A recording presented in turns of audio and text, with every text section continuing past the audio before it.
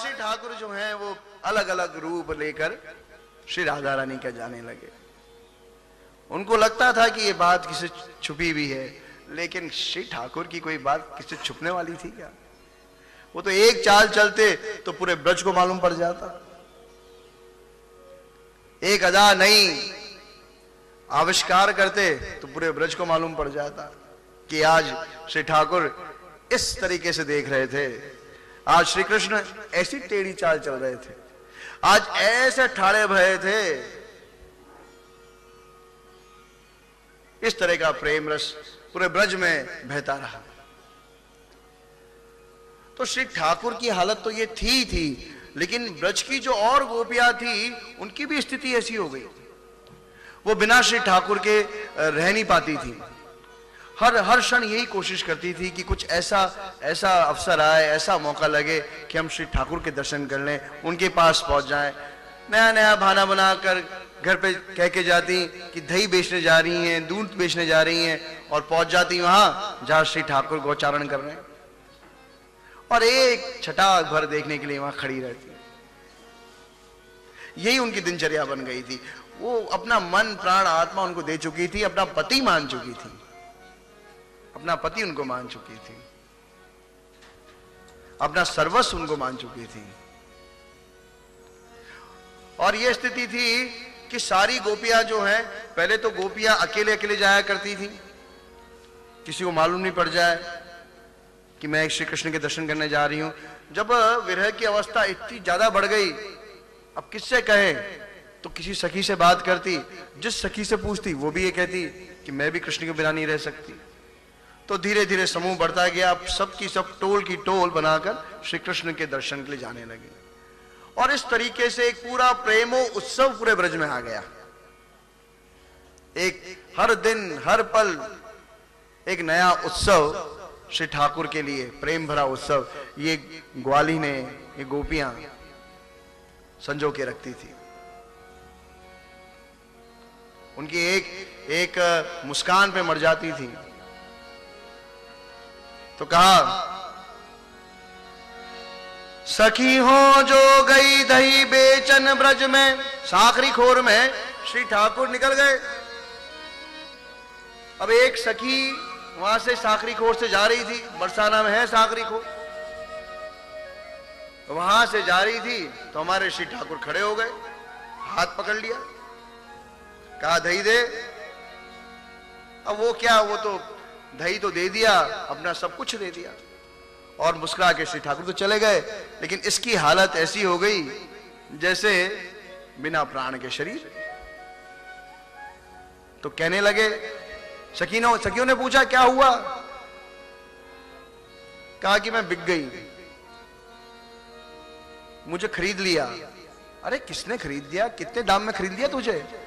अरे, मुफ़्त में खरीद लिया। खरीद ही नहीं लिया, मेरी रजिस्ट्री भी हो गई। मेरी आत्मा, मन, प्राण, आत्मा सब खरीद लिया। किसने खरीदा अरे एक वो नील वर्ण का सांवल सा, कजरारी नैनो वाला, वो आता है। जो बर्छी सी, तिरछी चितवन चलाता है। जिसके बिना अब मैं रह नहीं सकती। जो मेरी आत्मा बन चुका है, मेरा प्राण बन चुका है सखी हो जो गई धई बेचन ब्रज में, उल्टी आप बिकाई। बिन ग्रंथ मोल लई नंदन सरबस लिख दे। सब कुछ लिख के आ गई मैं उस सांवले को, उस नीलमणि को। जा दिन ते मैं सूरत संभारी, ग्रह आगन विष लागेरी। चितवत चलत सोवत और जागत, यह ध्यान मेरे आगे री। मैं सोती हूँ, जागती हूँ, केवल यही यही, इसी का ही स्वरूप मेरे सामने रहता है। मुझे और कुछ दिखता नहीं है। मेरे सामने सिर्फ़ यही दिखता है कि श्री कृष्ण जो है, ये आ जाए और मुझे संभाल लें इनकी एक एक जो मुस्कान है इनकी एक एक नज़र जो है, वो ऐसी है कि लोक की लाज तजी तब ही जब देखो सखी ब्रज चंद्र सलोना। खंजन निमन सरोजन की छवि, गंजन नैन लला दिन होना। अरे जब से श्री कृष्ण को देख लिया है तो खंजमीन सरोजन की छवि, गंजन नैन लला दिन होना। दिन भर वही वही वही वही रूप मेरे आगे रहता है। उसकी उसकी नज़र ही मेरे, वो जिस नज़र से उसने मुझे देख लिया, उसकी नज़र ही मेरे समक्ष रहती है। हर समय मैं उसको देखती रहती हूँ। मेरा तो सब कुछ खत्म हो गया। हेरी संभारी, सखे रस खानी सुकौन तियो वह रूप सुठोना? बोह कमान सो जोहन ते, सर बेदन प्राणनी नंद को छोना। अरे सखीरी, वो अपनी भों से और नैनों से ऐसी तलवार चलाता है कि सबको मार डालता है। ऐसी उसकी नज़र है। तेरी नज़र है अटोना, तेरी नज़र है अटोना। या जादू टोना नज़रिया मत मारे।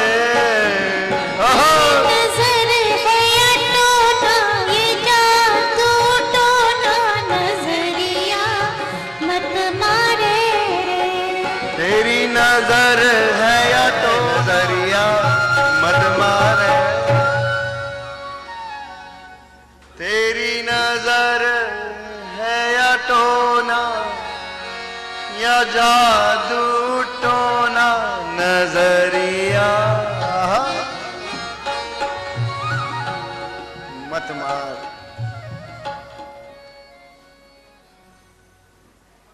उनकी इस तिरछी चितवन के कारण पूरे ब्रज में एक ऐसी रस की बाढ़ आ गई थी। कि समूचा ब्रज हर क्षण प्रति क्षण प्रति पल उस रस में उस रस की बाढ़ में नहाता रहता था। एक ग्वाली ने तो उनकी आ, सब कुछ थी। ये गोपियाँ जो थी ये उनकी सब कुछ थी लेकिन कोई भी नहीं बचा था। क्या ग्वाल क्या बाल क्या पेड़ क्या पौधे सब उनके ही थे।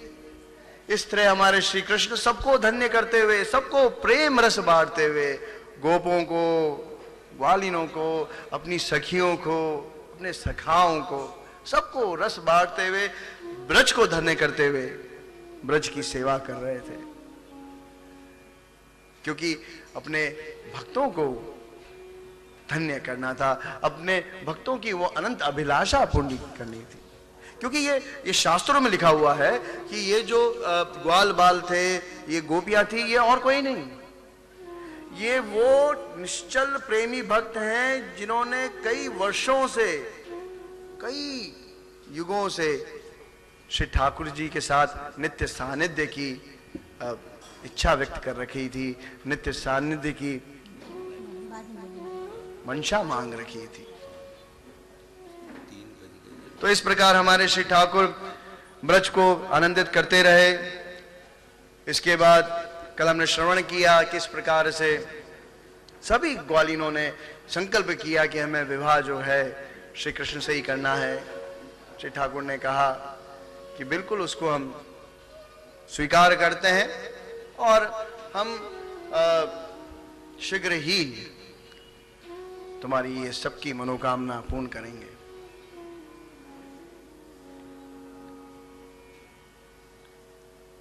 ऋतुएँ जो थी, हर ऋतु जो है, वो श्री ठाकुर को धन्य करने के लिए आती थी, हर ऋतु। और श्रीमद् भागवत के अंदर ऋतुओं का बड़ा महत्व बताया गया है। ग्रीष्म ऋतु, वो श्री ठाकुर को धन्य करने आती थी। अच्छा एक बात और विशेष बताई गई कि वृंदावन में कोई भी ऋतु हो, हर समय एक बड़ा सुंदर सा वातावरण बना हुआ था। क्योंकि इतने सघन वृक्ष थे, इतनी सुंदर वृक्षावली थी, और उन वृक्षों पर इतनी सुंदर फूलों की पंक्तियाँ थी, जो देखने को, जिनको देखकर ही मन आह्लादित हो जाता था, प्रसन्न हो जाता था। निर्मल, स्वच्छ। तो होता यह था कि श्री कृष्ण जब चले जाया करते थे गौचारण के लिए तो दिन भर बैठे बैठे गोपियाँ क्या काम करती? तो वो श्री ठाकुर का स्मरण करती थी। यही काम था उनका। और ऐसा ही स्मरण का गीत है, वेणु गीत, जो कि बड़ा विलक्षण गीत है। श्री ठाकुर निकल जाया करते थे, प्रेम का रस तो दे दिया सबको, प्रेम के लिए दीवाना कर दिया सबको। और ऐसा दीवाना कर दिया प्रेम के लिए कि न दिन, न रात, श्री ठाकुर ही ठाकुर। अब श्री ठाकुर निकल गए ब्रज में गौचारण के लिए तो दिन भर क्या करें? तो सभी सखियाँ, जो पहले अकेले अकेले श्री ठाकुर को प्रेम करती थी, अब सब मिलकर श्री ठाकुर की बातें आपस में करने लगती थी।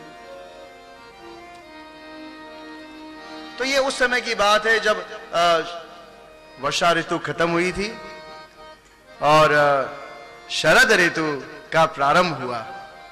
शरद ऋतु में जहाँ सर्वत्र निर्मलता छा गई, शीतलता छा गई, जल स्वच्छ हो गया, गगन स्वच्छ हो गया। पक्षी चहचा रहे हैं, भौरे गुंजायमान कर रहे हैं। वृक्षों की पंक्तियों पर, वृक्षों की पत्तियों पर सुंदर सुंदर अलग अलग फूल खिले हुए हैं। जहाँ सर्वत्र प्रकृति का सौंदर्य अपने सर्वोत्तम स्तर पर है। जहाँ घास इतनी निर्मल, जलाशय इतने निर्मल हो गए हैं, सब जगह स्वच्छ हो गई। और तब हमारे श्री कृष्ण निकले गौचारण और गौचारण करते करते पहुँचे वन में। इधर जो गोपियाँ थी, उनका मन श्री कृष्ण के साथ चला गया। और अब क्या करें दिन भर? तो साथ में बैठकर श्री कृष्ण की चर्चा करती। उनके उनके स्वरूप को याद करती। और हमारे श्री कृष्ण क्या करते? कि चले जाते वन में और ठाड़े भय एक वृक्ष के नीचे और वेणु नाद करते थे। तो उस वेणु को सुनकर, उस वेणुनाद को सुनकर सखियों का, गोपियों का मन हाथ से निकल जाया करता था। वो आपस में चर्चा करने लगती थी कि अरे ये कृष्ण ये कृष्ण कैसे हैं? कितने सुंदर हैं। इनके रहने से पूरा व्रज वृंदावन कितना स्वच्छ और सुंदर हो गया है। आहा!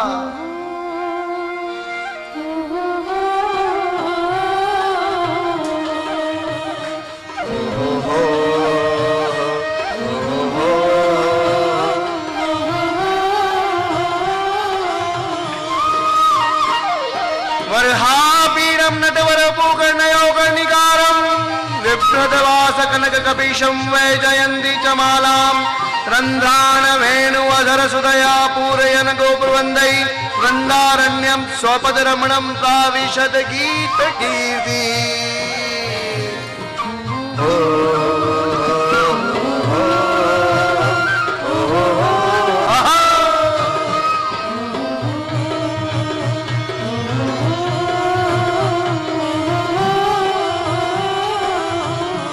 सखी कहती है, अरे सखी, ये कृष्ण कैसे हैं? कितना सुंदर स्वरूप है इनका।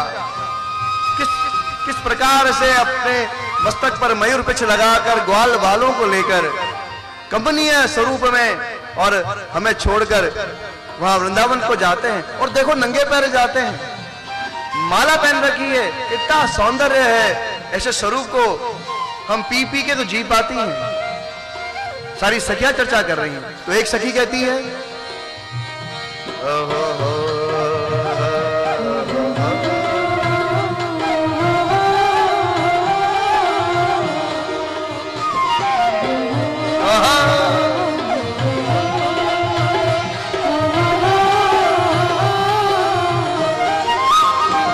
अक्षमतां फलमिदं न परमविदामः सख्य पशुननु विवेशतयोर्वयस्यै, वक्त्रं रजेषु सुतयोर्णुवेणुजुष्टं येर्वा निपितम् अनुरक्तकटाक्षमोक्षम्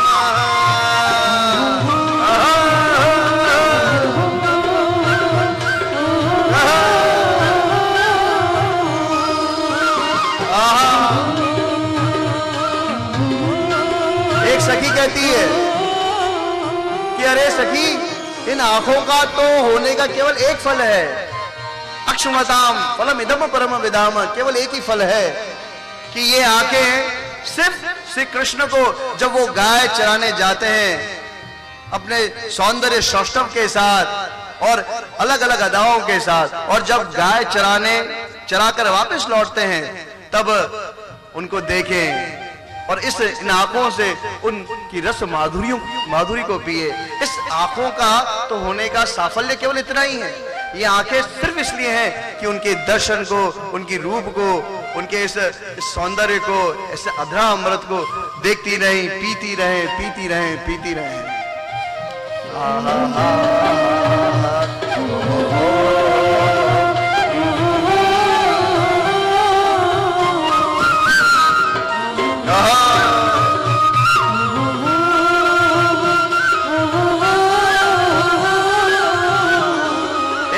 कहती है एक सखी कहती है इसका इको बड़ा सा। एक सखी कहती है कि अरे ये जो किशोर हैं कृष्ण हैं ये वृंदावन को धन्य करने के लिए आए हैं। ये वृंदावन इनके उपस्थित उपस्थित इनके होने से वृंदावन की कीर्ति पूरे विश्व में पूरे ब्रह्मांड में फैल गई है। और ये जब कृष्ण वेणु नाद करते हैं, जब वेणु बजाते हैं तो ये मयूर जो है, ये ऐसे नृत्य करता है, ऐसे नृत्य करता है, जिससे उन्मत हो गया हो, पागल हो गया हो प्रेम का जिसको रोग लग गया हो। अच्छा ये मयूर की बात क्यों? ये जो वृक्ष है, पक्षी पक्षी हैं, वृक्ष की लताएँ हैं एकदम स्पंदन रहित हो जाती हैं। इनका वेग रुक जाता है। ये पक्षी जो हैं, ये उनको देखते रह जाते हैं। आहा। वृंदावनम सखी भूवितनोति कीर्ति, यत देव की सुत पादाम्बुज लब्ध लक्ष्मी, गोविंद वेणु अनुमत मयूर नृत्यम प्रेक्षा त्रिशानुप्रतान्य समस्त सत्वम।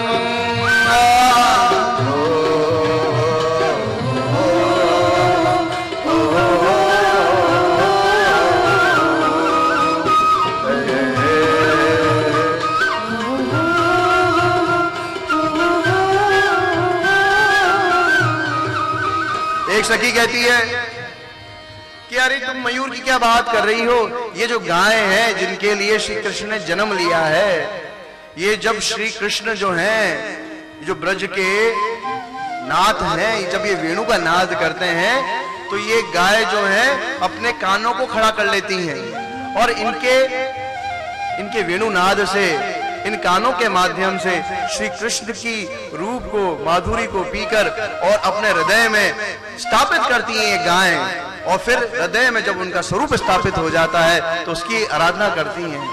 और गायों की क्या बात है? जो इनके बछड़े हैं, इनके बछड़े जो हैं, जब कृष्ण वेणु नाद करते हैं तो ये बछड़े जिन्होंने दूध का पान कर रखा है। दूध का निवाला जिनके मुँह में है, वो निवाला वहीं का वहीं रह जाता है। ये हतप्रभ हो जाते हैं और स्थिर होकर उस वेणुनाथ को सुन सुनकर प्रसन्नचित हो जाते हैं। तो अरे सखी, जड़ क्या, चैतन्य क्या, ये सब पशु पक्षी जो हैं, ये कृष्ण के प्रेम के रोगी हैं, कृष्ण के ही दीवाने हैं। गावश्य कृष्ण मुख निर्गत वेणु गीतम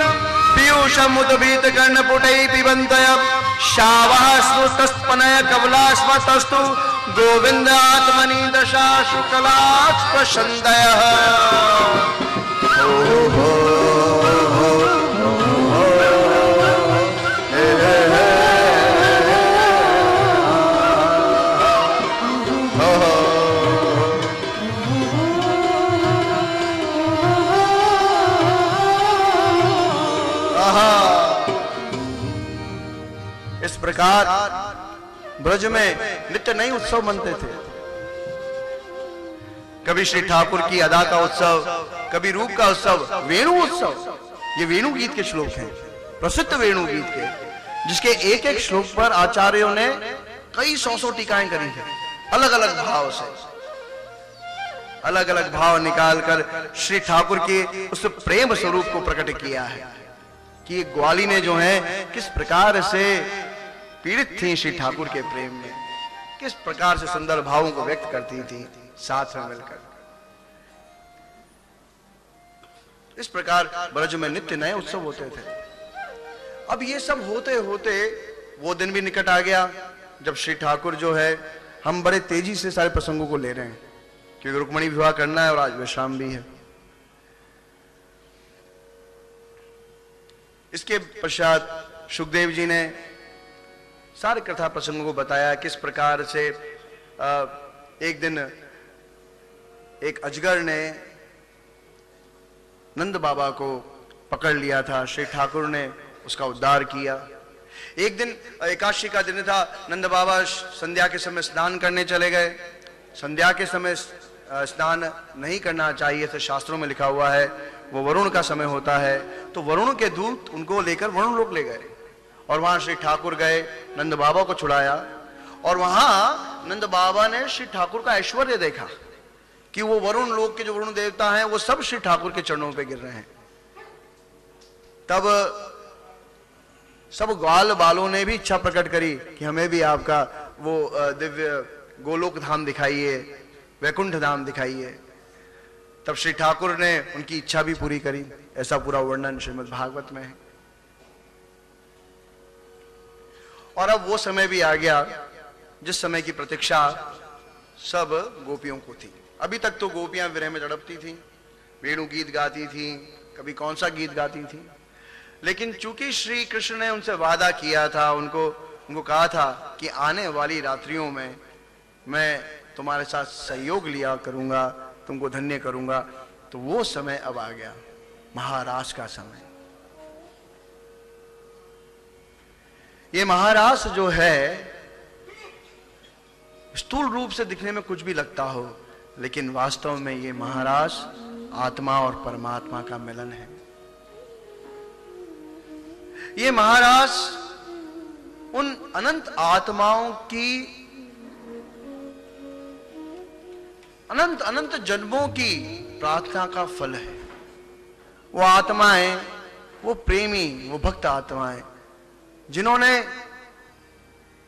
कई जन्मों तक श्री ठाकुर का प्रेम पाने के लिए, उनका सानिध्य पाने के लिए घोर तपस्या करी। और वो सिर्फ़ ये चाहती थी आत्माएँ कि हमें श्री ठाकुर अपना ले, स्वीकार कर लें, हमें अपना, हमें अपने में लीन कर लें।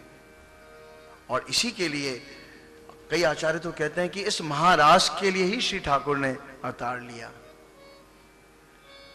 रास पंचाध्यायी श्रीमद् भागवत के अंदर, पाँच अध्याय हैं। इनको पूरे भागवत का प्राण कहा गया है। ये पंच प्राण है। जैसे एक शरीर में पाँच प्राण होते हैं और पाँच प्राण जो हैं, वो पूरे शरीर को संचालित करते हैं। ये वो पाँच प्राण हैं श्रीमद् भागवत के रास पंचाध्याय तो श्री ठाकुर ने उन सब गोपियों की इच्छा को पूरी करने के लिए उन अनंत आत्माओं की इच्छा को पूरी करने के लिए जो जिनकी एकमात्र अभिलाषा है कि हम उन श्री कृष्ण के उन पर ब्रह्म के स्वरूप में स्थित हो जाएँ, लीन हो जाएँ, विलीन हो जाएँ, उसके लिए इस महाराज का आह्वान किया। क्या किया? वेणु बजाई। अच्छा ये वेणु जो है ये वेणु श्री कृष्ण की प्रेम वाहिनी है। प्रेम का संदेश लेके जाती है। जब भी किसी को आकर्षित करना होता है श्री कृष्ण वेणु बजाते हैं। और ये वेणु का स्वर जो है, ये भक्त के हृदय को स्पर्श करके संकेत देता है। संकेत देता है कि श्री ठाकुर बुला रहे हैं, चलना है। तो हमारे श्री ठाकुर ने भी वेणु का नाद किया और ऐसा विलक्षण नाद किया कि पूरी प्रकृति आनंद में स्थित हो गई।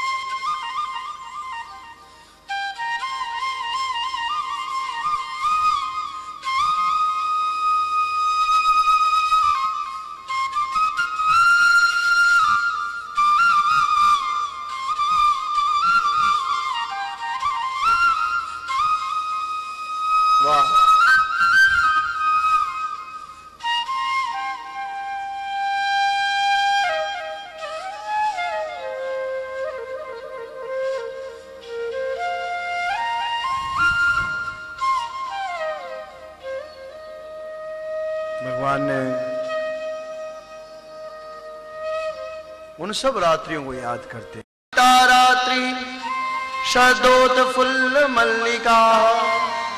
शरद का समय है। चारों तरफ़ शरद ऋतु की वो आभा है, निर्मलता है।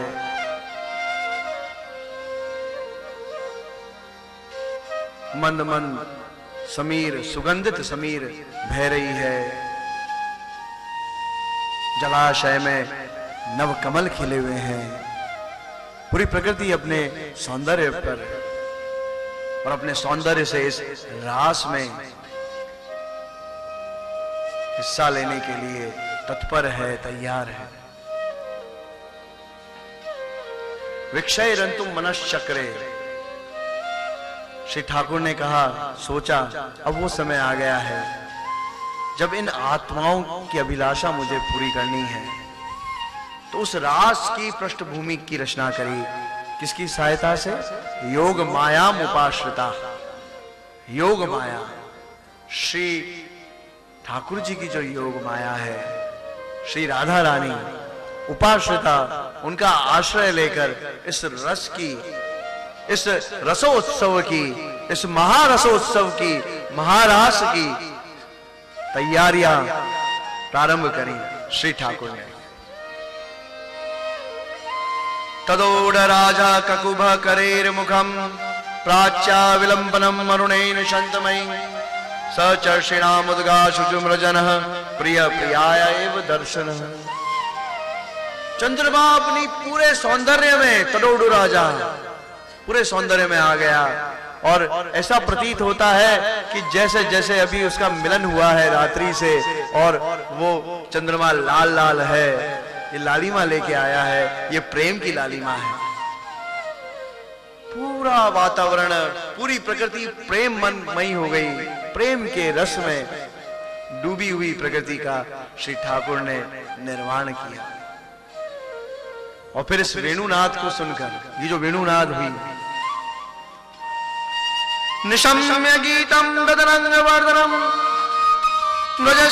कृष्ण घृत मानसा आजज्ञ नमूर निलक्षित दम्मा सयत्र कांतो जवलोल कुंडला निशम्य गीतम इस वेणु गीत इस अद्वितीय वेणु गीत को सुनकर, इस प्रेम के आह्वान को सुनकर, परमात्मा के श्री कृष्ण के, परब्रह्म के, इस आह्वान को सुनकर वो सब गोपियाँ, जो प्रेम के श्री कृष्ण के प्रेम से पीड़ित थी प्रेम में पागल थी, वो सब खींची चली आई।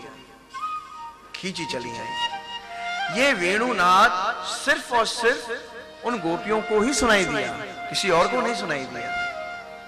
प्रेम का संदेश तो केवल भक्तों को ही सुनाई देता है। ठाकुर के प्रेम का संदेश सिर्फ़ और सिर्फ़ भक्तों को सुनाई देता है। गोपियों ने इसको श्रवण किया और सारी गोपियाँ जिस अवस्था में थी, जैसी थी, जो कर रही थी उन सब कार्य को वहीं छोड़कर तत्काल उस तरफ़ भाग चली, उस तरफ़ दौड़ चली, जहाँ हमारे श्री कृष्ण ठाड़े भय विनुनाद कर रहे थे।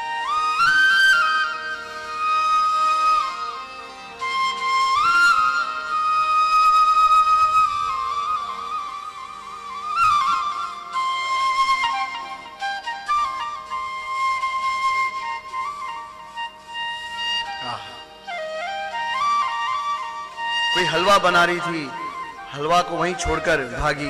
कोई पति को भोजन करा रही थी। भोजन की पतेली छोड़कर, चम्मच छोड़कर वहाँ से भागी। कोई कपड़े बदल रही थी। उल्टा लहंगा पहन के ही दौड़ चली। जब श्री कृष्ण का आह्वान हो तो किसकी प्रतीक्षा करना? कोई श्रृंगार कर रही थी तो उल्टी बिंदी लगाती हुई दौड़ गई। कोई चोटी गूंद रही थी, खुली हुई चोटी से ही दौड़ पड़ी। और कुछ जो चलने के तैयार हुई और जिनको उनके पतियों ने, उनके घर वालों ने रोक लिया। तो उन्होंने अपने आप को एक एक कमरे में बंद कर कर और अपने प्राण आत्मा को श्री कृष्ण में तल्लीन कर कर उस शरीर को वहीं छोड़कर और दिव्य स्वरूप से वो वहाँ पहुँच गई, जहाँ श्री कृष्ण थे। दुत्सह प्रेष्ट विनित्रवतापदुता शुभ। ध्यान प्राप्त अच्युता श्लेष निवृत्ता क्षीण मंगला। तमेव परमात्मनम जार बुद्ध्यापि संगता जहू गुणमय देह सद्य प्रशिक्षण बंदना दुस्सह प्रेष्ठ विरह, तीव्र ताप धुता शुभा विरह के तीव्र ताप से जो उनके दोष थे, वो समाप्त हो गए। और भगवान से मिलन कब होता है? जब आपके सारे दोष खत्म हो जाएँ और जब आपके सारे पुण्य खत्म हो जाएँ। सारे पुण्य खत्म हो जाएँ और सारे पाप जल जाएँ, तब श्री ठाकुर से मिलन होता है। तो विरह से तो गोपियों के सारे पाप जल गए और ध्यान प्राप्त अच्युत और ध्यान में जब लगी और उस ध्यान में जो आनंद उनको मिला, उससे उनके सारे पुण्य जल गए। और जैसे ही पुण्य और पाप दोनों समाप्त हुए, ये गोपियाँ श्री ठाकुर जी के पास पहुँच गई। सब की सब पहुँची। श्री ठाकुर मुस्कुराते हुए वेणुनाद कर रहे हैं। मंद मन उनके चेहरे पे मुस्कान है, आँखें अध खुली हुई हैं और मुस्कुराते हुए सबका वेणु से स्वागत कर रहे हैं।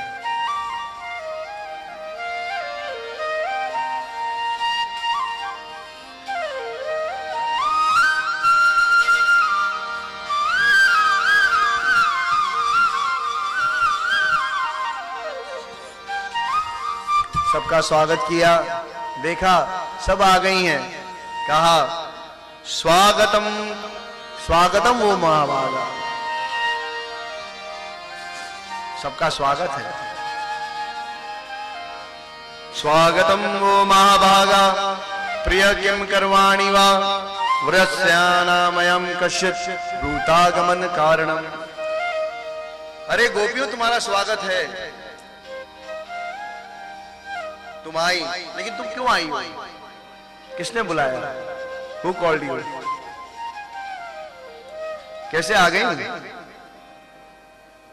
और इतनी रात्रि में आई हो इतनी घोर रात्रि में? ऐसी क्या बात हो गई? ऐसा क्या काम पड़ गया जो इतनी रात्रि में इस घोर जंगल में तुम चल के आ गई? अच्छा तुम आ गई हो तुम्हें अगर मेरे दर्शन करने थे तो मेरे दर्शन हो गए हैं। अब जाओ get back to your home घर जाओ। तुम्हारे पति तुम्हारी प्रतीक्षा कर रहे होंगे। अरे, तुम्हारे पुत्र रो रहे होंगे, जिनको तुम छोड़ के आई हो। जाओ। गोपियाँ एकदम चिंतित। ये क्या कर रहे हैं श्री कृष्ण एक तो हमें प्रेम की डोरी से खींच के बुलाया और अब हमें जाने के लिए कह रहे हैं। अरे जाओ, भाई देखो, तुम्हारा धर्म है पति की सेवा करना। अब ठीक है, तुम्हारा प्रेम मुझसे है, वो बात ठीक है, लेकिन जाओ अपने घर वालों की सेवा करो, पति की सेवा करो, जाओ। हो गया, दर्शन हो गया। और तुम अपने घर पे जाके भी मेरा ध्यान कर सकती हो। जाओ। जब उन गोपियों ने सुना तो उनके प्राण जो है, वो कंठ तक आ गए। कि हम इतनी दूर से सब कुछ छोड़कर आई हैं। इतनी दूर से सब कुछ छोड़ के आई हैं और ये हमें हमें भगाने की कोशिश कर रहे हैं, हमें भेजने की कोशिश कर रहे हैं। तो हमारे श्री ठाकुर ये लीला करते हैं हर मनुष्य के साथ। पहले उसकी परीक्षा लेते हैं, कितना इसका प्रेम है मुझसे? ये कितना प्रेम करता है। How much does he love me और शी लव्स मी कितना प्रेम करता है। अगर संसार को चाहता है प्रेम दिखा रहा है। ठीक है भाई, देख लिया। ले लो दो तीन करोड़ रुपए। पाँच, दस करोड़ रुपए ले लो। अरे, हज़ार करोड़ रुपए ले ले, जा। मस्त रह, जा। परीक्षा लेते हैं। लोभ देते हैं। जाओ, पति को संभालो घर गृहस्थी संभालो, जाओ। उत्कंठा देखते हैं। कितनी उत्कंठा है। कितना प्रेम है। जा जा तेरे को सफलता दे देता हूँ। तेरा बिज़नेस बढ़ रहा है, जा। जा, प्रसिद्धि, बहुत प्रसिद्धि होगी, जा, प्रसिद्धि हो रही है। लोभ देते हैं। जो लोभ में फिसल गया, वो फिसल गया। और जो नहीं फिसला, वो तो फिर शिव ठाकुर को प्राप्त कर लेगा। क्योंकि वो कहते हैं कि मैं अपने भक्त को मोक्ष दे सकता हूँ, लेकिन भक्ति में हर किसी को नहीं दे सकता। क्योंकि भक्ति के चक्कर में मैं खुद फंस जाता हूँ। किसी को अगर भक्ति दे दी तो मैं उसका दास बन जाता हूँ, मुझे दास बनना पड़ता है उसका। तो परीक्षा ली। अब गोपियाँ तो साहब, वो तो इन श्री कृष्ण की भी गुरु हैं। इन श्री कृष्ण के भी गुरु हैं। जो प्रेम की शिक्षा है, प्रेम की शिक्षा की जो पाठशाला है, जिस पाठशाला में श्री कृष्ण ने प्रेम की शिक्षा ली है, उसकी प्रधानाचार्य ये गोपियाँ हैं। ये सब समझ गई ये कृष्ण नाटक कर रहे हैं।